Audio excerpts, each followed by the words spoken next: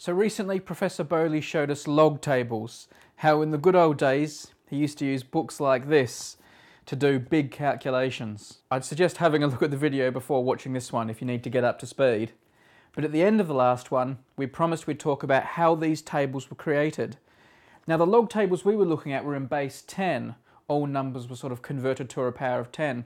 But that's not how the first tables were created.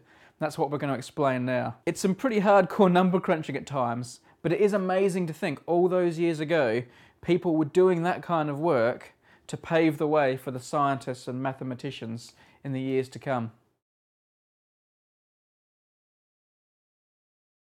Now you're going to ask the question, where do these numbers come from? How did I make up tables of anti-logarithms and logarithms? And this was done by a man called John Napier in the period between 1594 and 1614. This is before calculus, before Newton's works, before Leibniz, before Gauss, all these great mathematicians. He was the one who did the first bit, which was to work out this new function, the logarithm. And although I've told you about logarithms to the base 10, you could do logarithms to whatever number. It doesn't have to be 10 to the power, it could be 3 to the power or 5 to the power or whatever you want, or 0.3 to the power. So I'm going to make up a number and show you the method used by John Napier so you can follow the logic but I'm not going to ask you to take 20 years, which is what he took, in order to create the table. I'm going to make a very short, abbreviated table. The number I am going to use, which I'll call A, is a very strange number. It's 1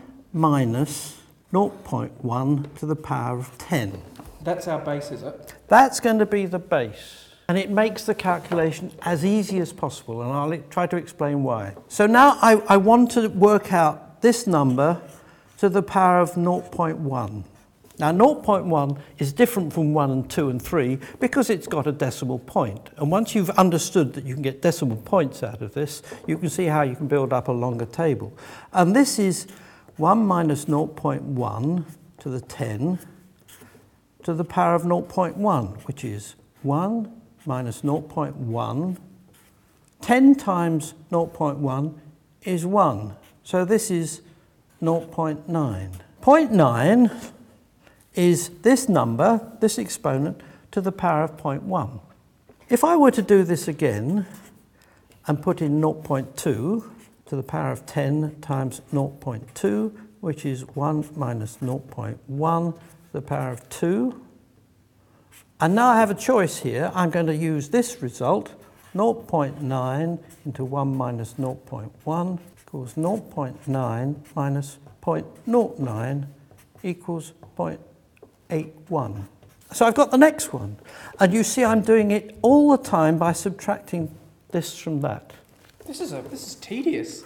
Oh, yeah, uh, he took 20 years over this and he used a much larger number than this. I just do one more. 0.81 minus 0.081 equals 0.729 and it goes on and on and on. This is working out things which I can put in a table. So this is just the same as I was explaining when doing the log tables. This is just to a different base. Now Napier used the number 1 minus 1 over 10 to the 7 to the power of 10 to the 7. That was his base? That was the one he used over a long period to get his accurately as possible. So he was using this process, but with a more complicated number. Those tables you were using as a boy in school were base 10. What's going on here? Oh, there was a man called Briggs who worked out that if you calculated it to the base E or to, to this base, you could convert it to base 10. And that sold the product much more easily because people are used to dealing in base 10. And there's a simple transformation. Once you've got one function, the exponential function rising up, or any number to some power rising up, you can convert to base 10. And that's what Briggs did, and that helped sell the product. So Napier did all the donkey work, Briggs came in and got all the glory at the end. If you go through this algebra and you get to really long numbers, you have problems because, first of all, if I get eight decimal places, and have to subtract off another eight, I'm bound to make mistakes. And people did make mistakes.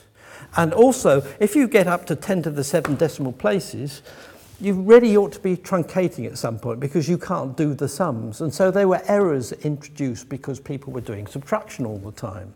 And so One of the great problems was to remove all the errors from the tables, because if you're an astronomer and you were relying on all these things to get accurate measurements and accurate calculations of what you should see, it might disagree with the experiment, not because of the experiment and the theory not working, but because the, the calculations were wrong based on these tables. And so somebody called Babbage tried to invent a difference engine to try and remove all the errors in all the mathematical tables and couldn't do it.